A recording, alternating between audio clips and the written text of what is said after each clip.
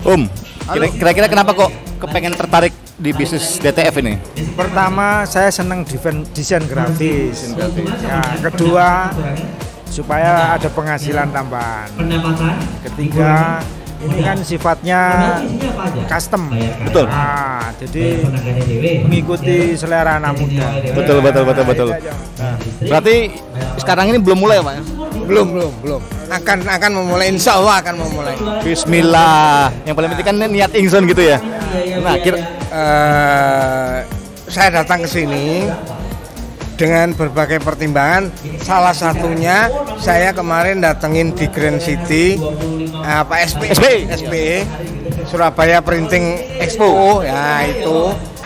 Eh, epic momen ini epic ini eh, dari sisi eh, produk barangnya memang beda beda merek dan sepertinya menjangkau nanti insya. Allah menjangkau harganya menjangkau insya Allah menjangkau Amin amin amin. Nah Om, kira-kira tapi udah tahu ya maksudnya marketnya mau diserang ke mana gitu?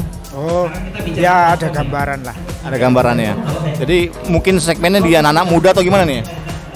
aku tua loh Hasan udah tua ini jadi nggak ada nggak ada batasan lah Arti- artinya kalau untuk segmen muda boleh silakan tapi yang jelas yang yang mau melangkah ini tua ini Oke.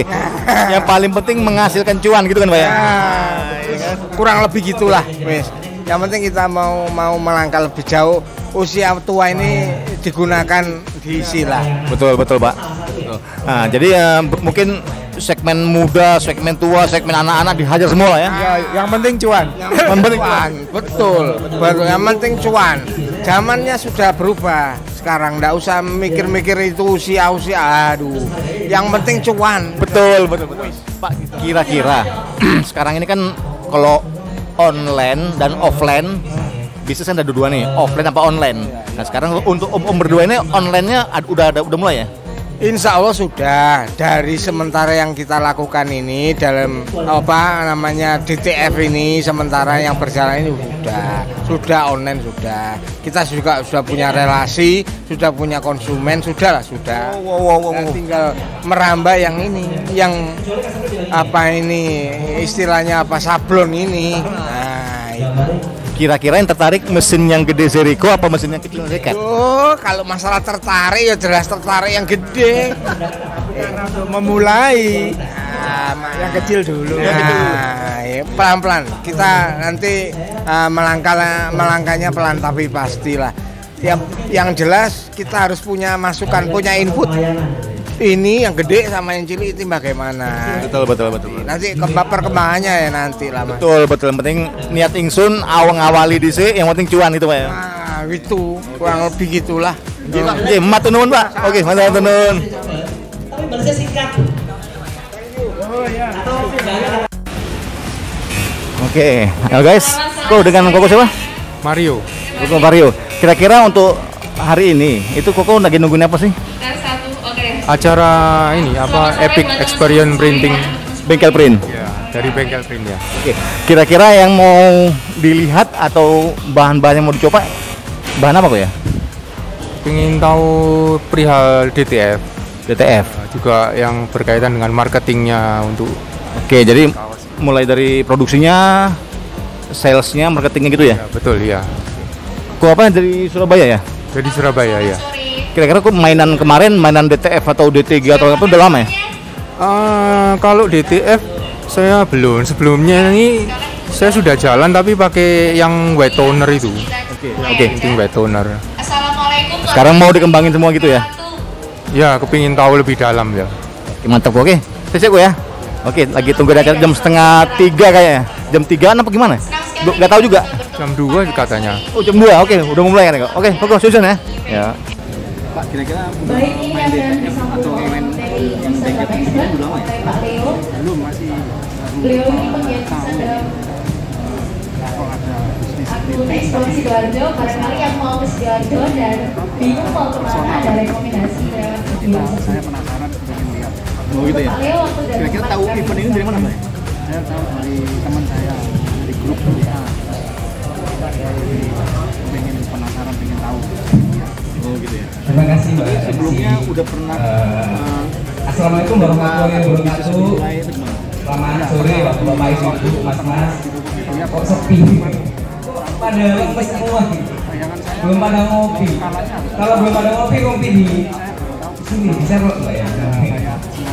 Kalau belum ada yang kenal, saya Loris dari Explore Sidoarjo yang belum pada tahu akunnya Instagram dengan sama di pembelian TikTok namanya kuantiti besar gitu ya. Eh, alhamdulillah followernya juga lumayan di atas 100k mau upload ya bisanya juga lumayan sekarang. di sini saya cuma mengajari teman-teman atau bapak-bapak ibu di sini gimana caranya Iya, uang lewat sosial media kalau cari bisa uangnya jadi, nggak nggak nggak kaleng-kaleng ya? ya kan berarti cari uang lewat sosial media ini nggak kaleng-kaleng? Bahkan kan kalau teman-teman pernah dengar yang namanya juga asli Iya. Surabaya. Atau empat. asu itu asli Surabaya. Yang followernya sekarang satu juta dia bisa hiring 10 karyawan dan itu bayarannya UMR bayangin dari akun sosmed asli Surabaya itu bisa hiring 10 karyawan dan bayarannya UMR Pakai Surabaya dulu sih kita masih hiring Berarti tiga keturunan karyawan tiga konten kreator dan ya juga ya. UMR tiga kalau kan Surabaya sudah 10 beli lima orang. ternyata nggak bisa Dan lepas. lumayan.